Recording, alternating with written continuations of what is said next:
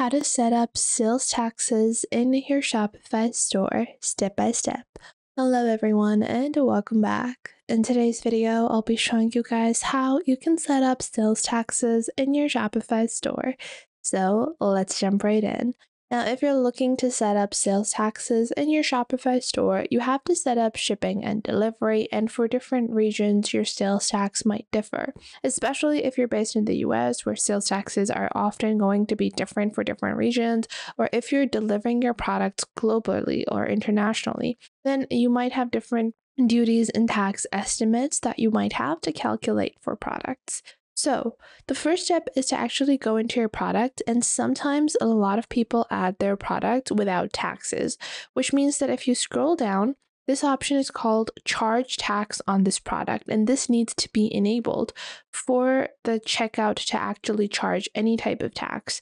If you don't have this enabled on your Shopify product, your taxes, even if you do add them to your Shopify store, they're not going to be charged to these products. So make sure to enable this before you do so. Now, if you haven't done this, instead of doing this manually, you can just go into more actions, select all of your products, click on bulk edit. Once you click on bulk edit, you have columns. You can go into your columns and come charge taxes, add that column, and then you're just going to charge taxes and just make sure all of this is ticked and then click on save. And now all of my products are going to charge taxes. Now, once we've done that, to actually navigate into setting up sales taxes, we're going to click on settings on the bottom left. And once you click on settings on the bottom left, we are going to go into shipping and delivery. Now, the reason why I'm going into shipping and delivery before I go into taxes and duties is because you have to set up shipping. So, domestic and international shipping for all of your products. We have domestic shipping. First off, I'm going to delete all pre existing zones and I'm going to add a shipping zone. And this is going to be Canada and I'm just going to add Canada as the shipping zone. And then we're going to add the rate, and this is going to be a flat shipping fee, and it's just going to be 10. And then I'm going to click on save. Once you do that, you can add multiple different regions where you're shipping to, and you're going to add them in the form of markets.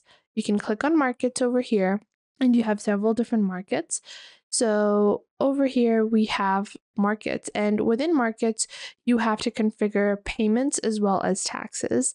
So I am going to go into add market and I'm going to name this Canada and I'm going to just search for Canada over here. Select it, add market. Once I add this market, you guys can see I have my shipping rates that are set and it says duties and import taxes.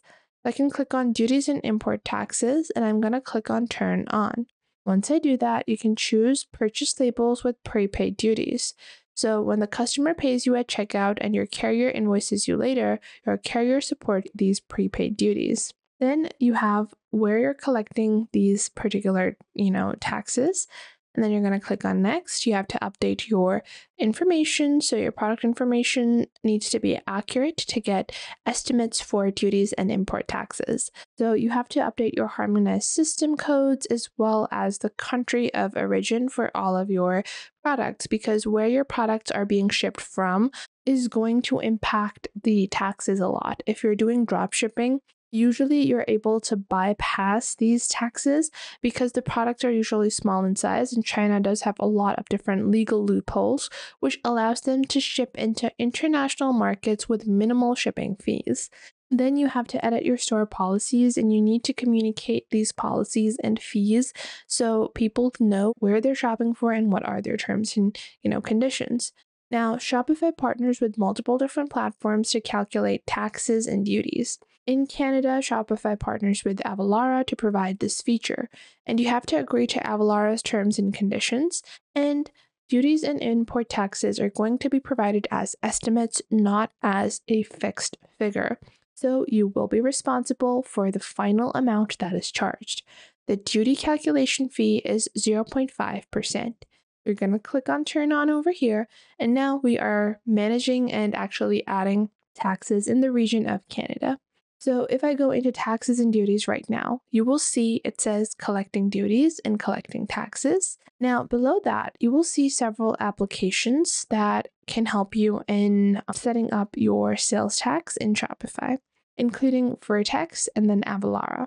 Below that, you also have duties and import taxes that you are just managing, and then you can include your sales tax in product price and shipping rates. For my products, I am not including the sales tax in the product price, so I'm not going to set this up.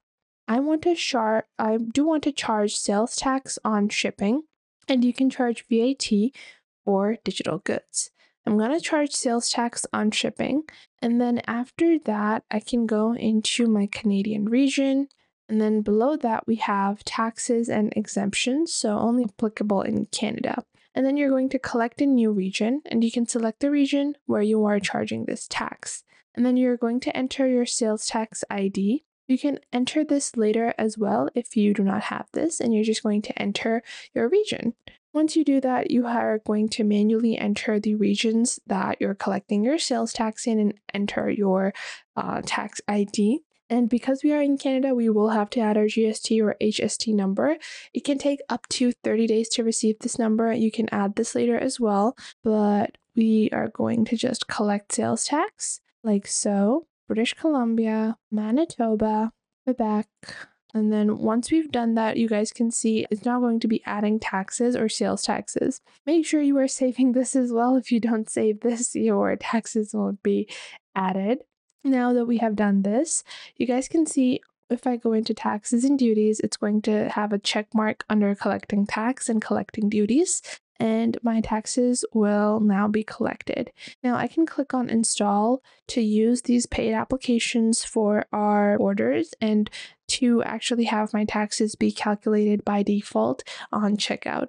So instead of customers just, you know, directly purchasing like so, you guys can see their particular price is going to be impacted by taxes. So if I go on over here, they have shipping, enter your shipping address, and then we have estimated taxes that are added by default. It's 4.97 for this particular product, and these are going to be automatically calculated for you. So that was it for today. I hope you guys found this video helpful. Make sure to like this video and subscribe to the YouTube channel and comment down below the best tips and tricks that I have taught you within this video. And make sure to also share this video with your friends and family and to other creators as well so you can help them out as well and to anyone that might need to know this basic detailed platform and how you navigate through these different social websites. So I hope this was helpful enough for you and make sure that you do leave a comment down below if I missed out on anything and if there is anything you would like to add and I will catch you guys in the next video.